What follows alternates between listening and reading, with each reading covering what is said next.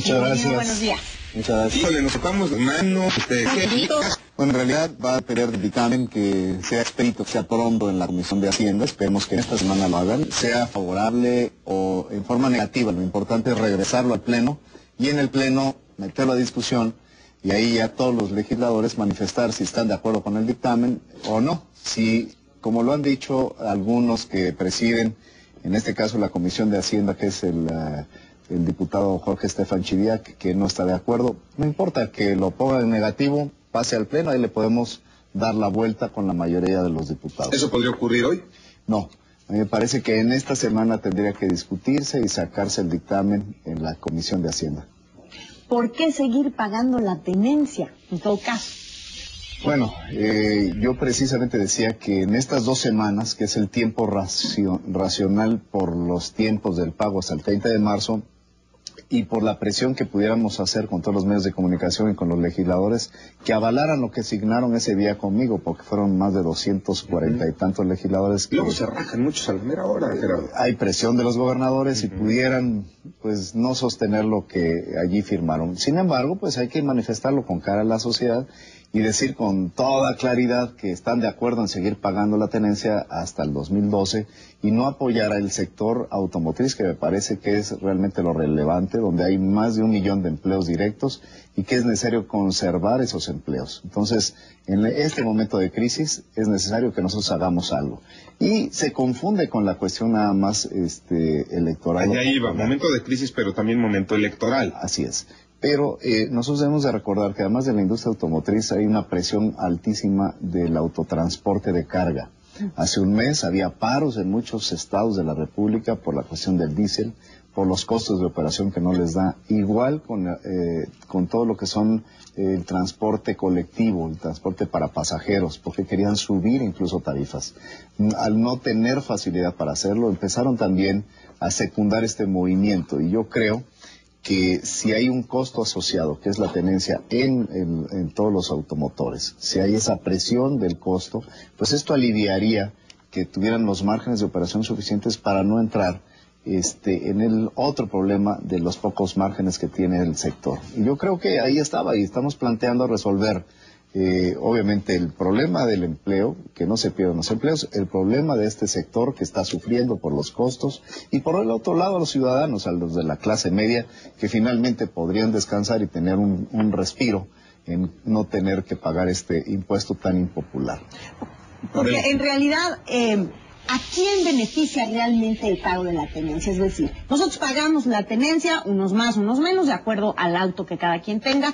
¿Y de qué nos beneficiamos? ¿Tenemos un mejor mantenimiento de los semáforos, de las, de las vías que utilizamos? ¿De qué nos beneficiamos? ¿A No. quién le beneficia? Le- a los gobernadores. Es un impuesto federal que fue cedido a los gobiernos estatales, al gobierno del Distrito Federal, y de ahí se quedan con el 80% del ingreso y el 20% se lo distribuyen a los municipios.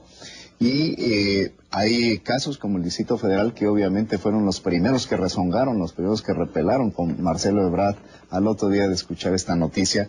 Y es porque él tiene una cuarta parte del, del parque vehicular nacional, es decir, el eh, 25% de la tenencia se queda en el Distrito Federal y obviamente le afecta porque es alrededor de los 5 mil millones de pesos estimado para este año.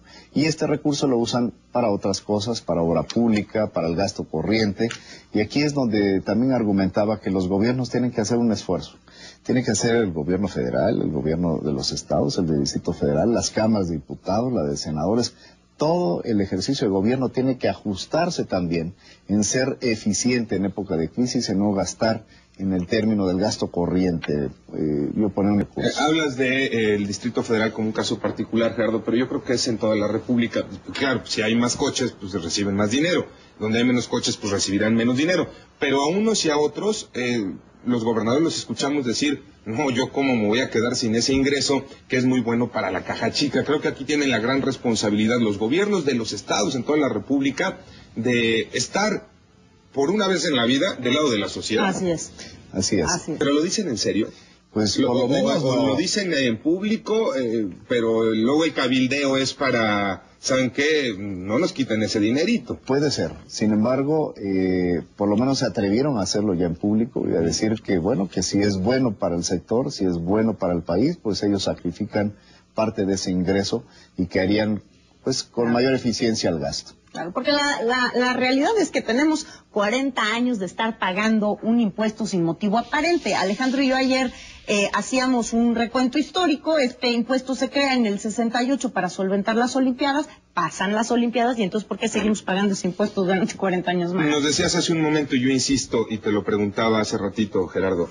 El tema tiene que ver con las elecciones nada más, porque ya tuvimos la oportunidad en el 2007, ¿eh? ya se pudo, ya se hizo, ya se intentó, este, yo estuve muy metido en ese rollo y no se hizo nada. ¿Por qué ahora? Porque estamos a tres meses de una selección. No, se hizo en el 2007 para quitarse en el 12, aplicarse en el 12. Eh, pero entre comillas, ¿no? O sea, porque era quitarse, sí, pero yo gobierno federal la quito, pero le dejo a los gobiernos de los estados la responsabilidad de seguirla cobrando, ¿no? Y sabemos qué iba a pasar, no la iban a seguir cobrando. Muy probablemente aquellos que quisieran hacerlo, ¿no? Pero eh, yo aquí creo que pues eh, no es una cuestión, me parece, igual que la del 2007. En el 2007 la crisis no existía en el país. Incluso le dimos recursos a los gobiernos de los estados, recursos al gobierno federal históricos. Metimos hasta el IETU, que también es un impuesto pues no muy popular entre los empresarios porque obliga a pagar el ISR incluso al propio autotransporte que era un paraíso fiscal. Entonces nosotros cuando había una época de vacas gordas, realmente ejercimos de eh, eh, una, una cuestión que a los diputados nos podrían descalificar, pero le dimos recursos a la federación, a los estados, a los municipios. Y ahora que hay una crisis, a mí me parece que habría que devolverle a este sector un poquito, un respiro, darle para que en esta época de crisis pues pague no la tenencia, sino la colegiatura de sus escuelas, el de la clase media. Pero yo creo que tiene que ver mucho con la, con la cuestión crítica que está pasando el país y que no nos damos cuenta.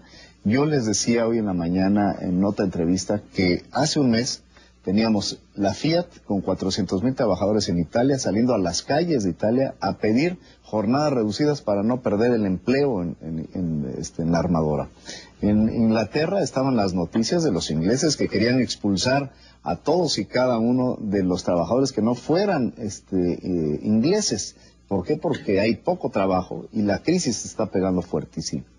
Y teníamos el caso de Francia, el paro de 2.800.000 allí en, París, donde prácticamente habían eh, paralizado a, Francia y exigían a Sarkozy una revisión de un salario eh, mayor a los trabajadores por la propia crisis que estaban viviendo.